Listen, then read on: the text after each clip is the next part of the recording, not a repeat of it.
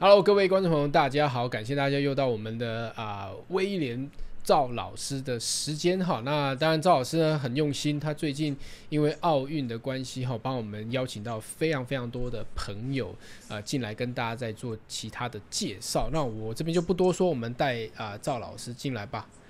哎，威廉跟大家问个好吧。OK，各位好，然后各位观众大家好，我是威廉老师。嗯嗯嗯嗯嗯，哎，我听说你现在在是在上课，然后偷偷跑出来是吧？你干嘛把它讲出来？不要破我就是要对，就要破你梗。OK 啊，还要上传出去。OK，没关系。那你今天要介绍哪哪一位大师跟我们认识一下？OK，因为最最近我们开始台湾在比奥运体操了。嗯，那昨哎，应该是昨天，昨天还是前天，是我们的一个体操国手哦，唐选手，他破了台湾的纪录啊，哦，在全能全能当中得了奥运第七名。那其实我们跟奥运有关系的相关人士都蛮兴奋的啦。嗯嗯。那所以呃，那呃，明天礼拜哎八月一号哈，是我们单项单项的奥运体操的一些决赛。所以，可我们台湾也有两个，一个两个选手会去比啦。所以，如果大家有空的话，礼拜天可以看一下决赛的部分。哦，那因为我我之前在国训中心的时候是带奥运队，所以我就一直呃对这件事情，呃奥运体操队，所以我对体操的部分一直都情有独钟啊。那后来去了北京，也是带他们的女子体操队。所以我一直就想，呃，趁这次的奥运哈，做一次体操的特辑。那刚好大概在去年的时候，因为我我现在我的小朋友大概两三岁，所以有让他去上一些幼儿体操。因为这几年我们说小朋友的发展，适性发展很重要，就是不单纯只是在家里呃看看电视，其实要让他多做一些大肢体的发展。所以我就刚好找到我之前。在左训认识的一个前国手啦，嘉恩啊，所以今天会哎请他过来，然后跟大家介绍一下呃嘉恩他自己的背景，还有他们哎他会介绍一下体操的部分，还有他现在在台中开的这个体操馆、幼儿体操馆、成人体操馆他们的一些呃范畴跟服务的项目这样子，哎，所以我们就可以把嘉恩 Q 进来，哎，嘉恩。好，跟大家打个招呼吧。Hello，Hello，大家好。嗨，威廉好。家人好。嗯，OK，我我先稍微介绍一下家恩，然后接下来再请靠我跟家恩播一下呃 PPT 的部分哈。家恩他之前是高雄嘛哈，高雄的体操队，哎，那也是前国手啦。那后来我跟家恩已经一段时间没联系了，那去年去找他以后，发现哇，家恩。非常的有生意头脑，果然学体操的人，学体操的人如果呃又又有头脑的话，其实很恐怖。所以加上他之前是学体操的，那后来我我跟他聊过以后，发现他的理念蛮好的，他就是想把体操推广化，哦让大家更认识体操。除了这个之外，哈他自己也开立了一个公司，然后也有一个体操的。工作室在台中这样子哦，所以呃，我们就让家人来介绍一下，他讲会不会更清楚哦。OK，好，那我先跟大家自我介绍一下，就是其实，在一开始体操退休之后啊，我就是会觉得认为体操它其实是很好的运动啊。那我们就先从介绍体操这件事来说好了。一般来说的话，就是竞技体操这个项目。有分男子体操跟女子体操。那图片上看到的话，就是呃呃最下面那张照片是地板项目。那地板项目顾名思义就是在地板平面的上面，不过比赛的时候是一个弹有弹性的地板。对，然后在一个弹性地板上面开始做各式样的空翻，然后有连接或者是两周空翻型的。那目前国呃世界上最强的就是可以做到。躯体后空翻三圈，对，就是还算是呃超呃正是人类的极限了。然后再就是鞍马项目，那鞍马项目就是我们八月一号李志凯选手准备要代表呃中华队去比的那个单项决赛。那其实他这一次很让人振奋的一个消息是，他是以第一名的预赛成绩入选。那这个这个其实是会让我们非常的看好，因为在整个呃体操领域当中，其实还蛮多人不清楚，就是体操到底是什么。所以如果透过可能奥运赛事啊，像或者是明年可能会有亚运赛事，那其实会更多人了解体操这个运动。那接下来的话就是吊环项目，第三个就是吊环项目。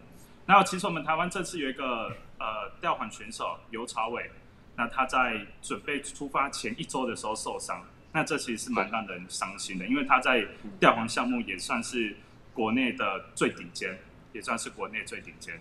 那接下来的话就另外三个项目，我们往下看，另外三个项目，对，那另外三个项目就是跳马项目，也是在最下面那一张，然后再是双杠跟单杠。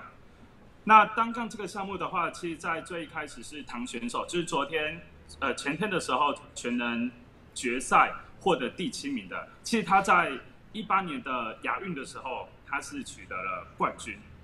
对，所以是其实他在今年呃奥运其实是一个呃对我们来说是里程碑。过往台湾选手大部分确实都是以鞍马项目为主去进到国际级的国际。级的决赛，那过完呃有也有跳马项目跟吊环项目。那单杠的话，唐选手算是近世代以来的第一位能够进到国际比赛的决赛。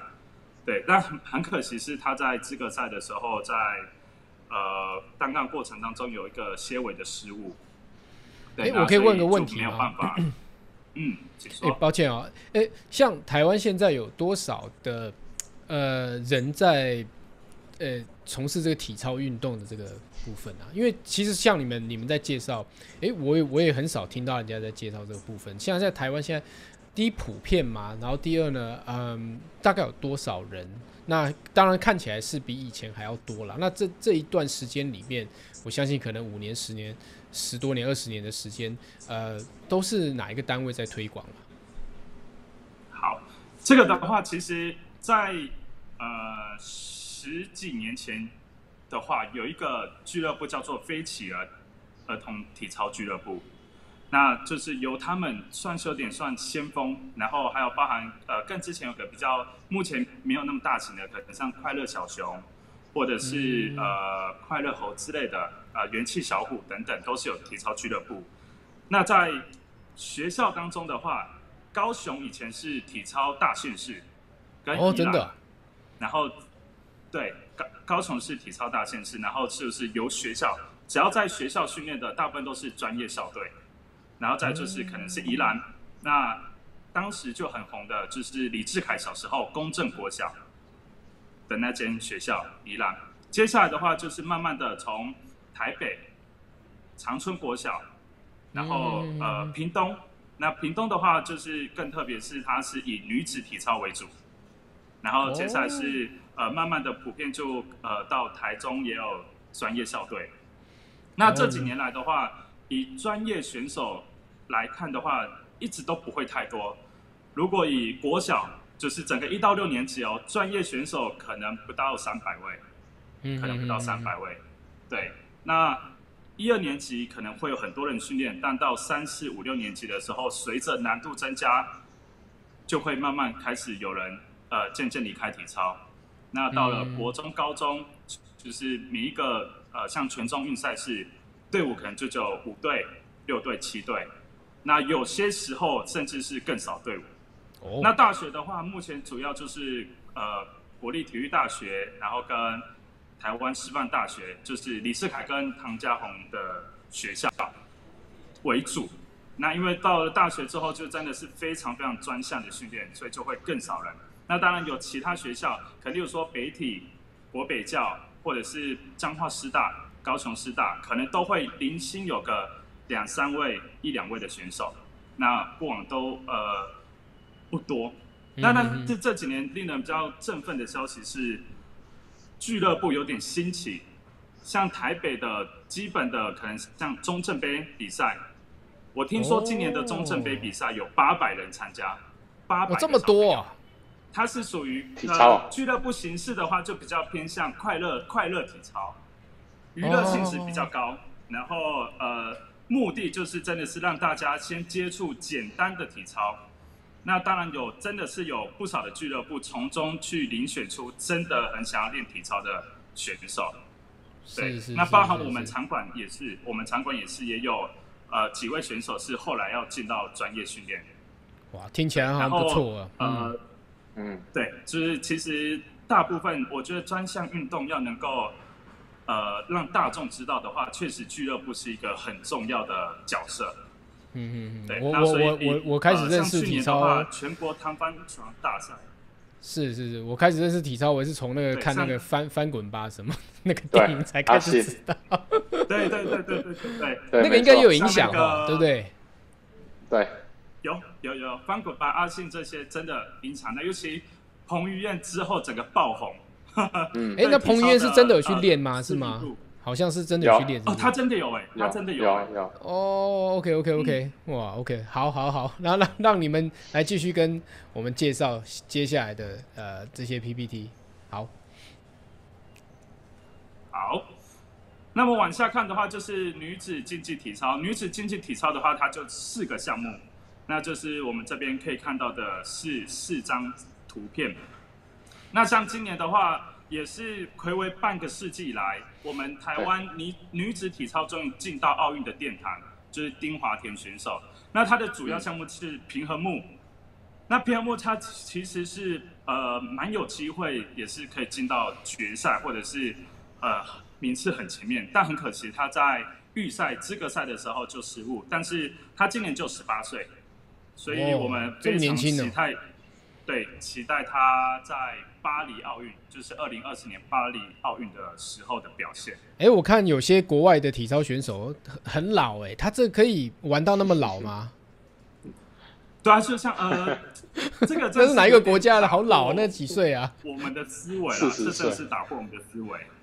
因为体操是呃很极限的运动，很极是是是限的运动是，是，对所以嗯，像呃今年奥运女生有一个传传传奇人物，四十六岁，嗯女生哦，真的很很不可思议啊！那他他这个他，我我想问一下，肯定要问这个物理治疗师哈。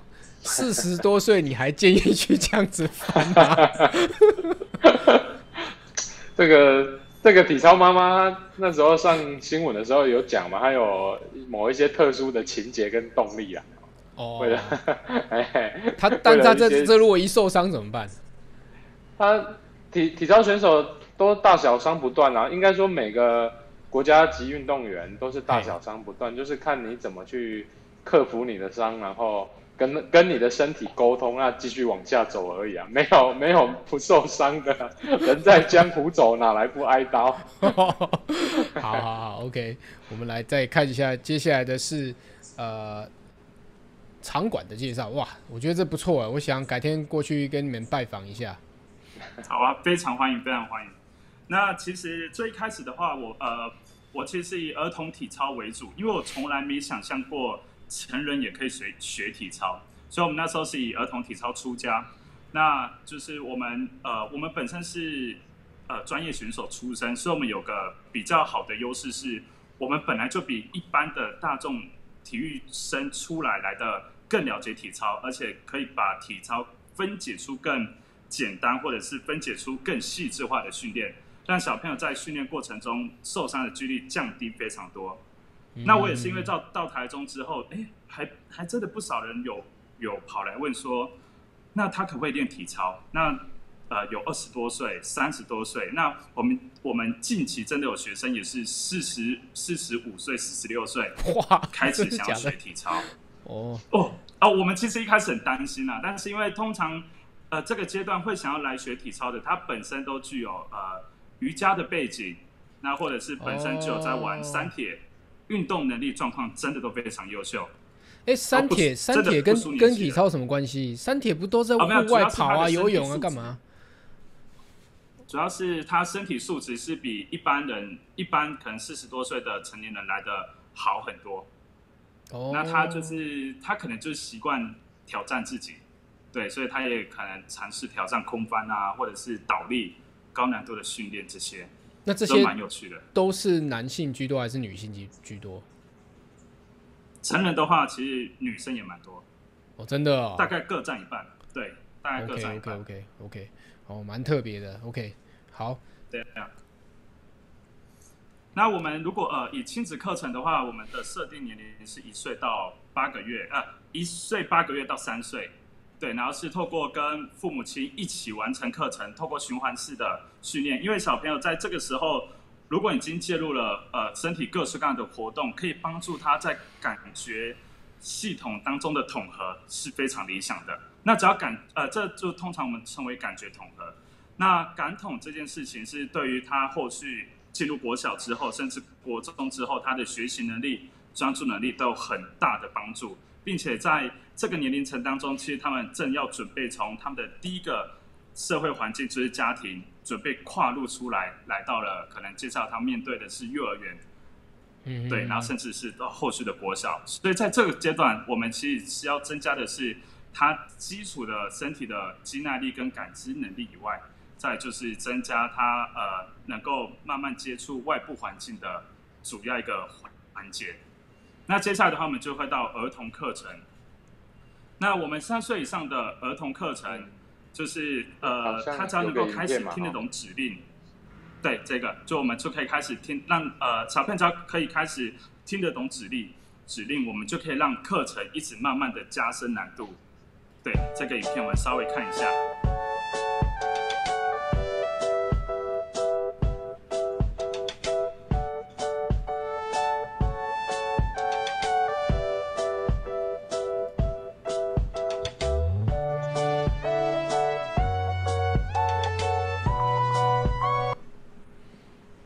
看起来不错，对，所以从影片上面的话，我们可以看到它其实呃不会就是如大家想象的那么困难。我们把体操整个简单化，嗯，然后透过可能单杠啊，或者是小跳床啊，然后或者是几个组合垫的方式，去刺激他平常不太可能会刺激到的肌肉群。那尤其呃以感觉系统来说的话，本体觉跟前庭觉，它是需要大量的运动状态下才会被刺激到的。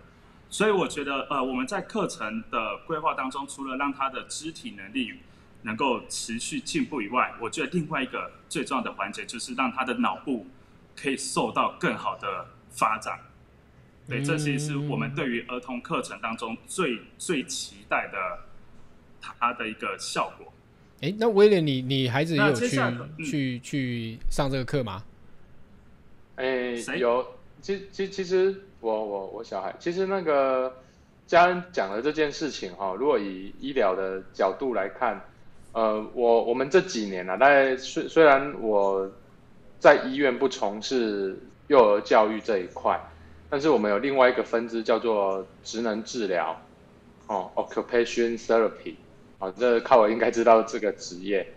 那我们会发现，其实大概这几年来，五到十年来，这种大肢体活动的小朋友，他的问题有渐趋居多的现象发生啦、呃，有为什么会这样？就是第一个，可能小孩多数都会让手机痒，或者让电视痒，对，所以变成他们肢体活动变少。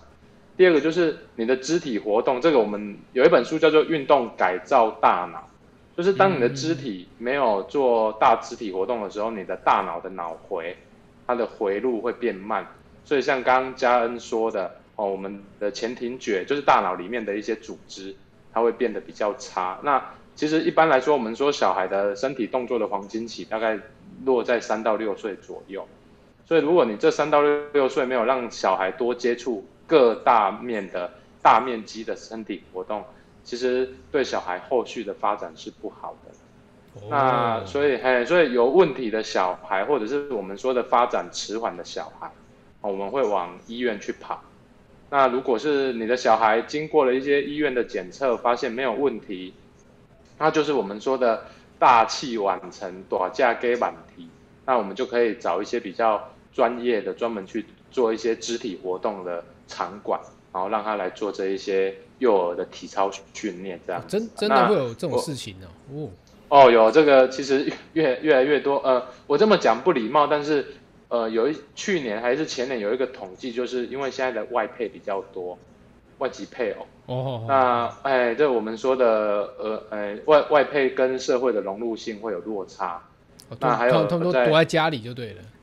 对对，这是第一个。第二个就是有一些外配进来以后，他可能要维维持家计，或者是他们是低社经地位的家庭，所以对。小孩的一些语言的发展、肢体的发展会比较不注重，所以我们会发现，在医院上面，这个我们说的慢性迟缓的小朋友，或者是大动作发展比较慢的小朋友，其实外配占了一部分的比例，这样子啊。那但是不是这些小朋友有问题，而是他们接触的少，这个是很重要。其实只要他们对肢体活动有参与好的肢体活动，然后足够的刺激，其实这些小朋友后来。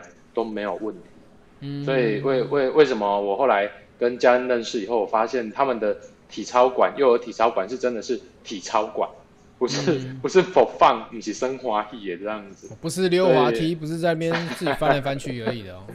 对对对对对，而且他们是选手出身啊，这一些保护啊、伤害处理啊，其实他们。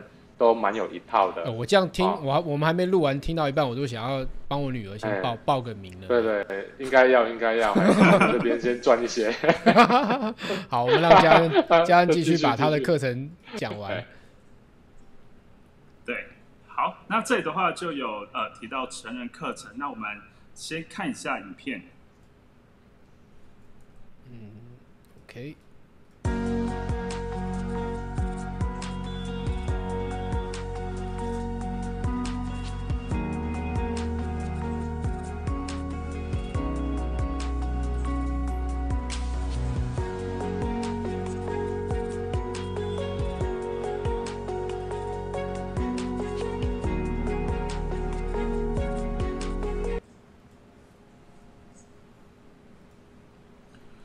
那我们在呃成人课程的规划，其实我们都是以就是以动作训练为主，因为成人的话，它基本上跟儿童的目标核心目标就不太一样了。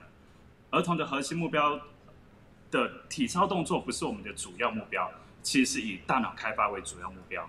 所以我们在课儿童课程的环节当中的话，其实非常多元。我们都会建议所有的小朋友全项目，包含平衡木啊、跳马啊。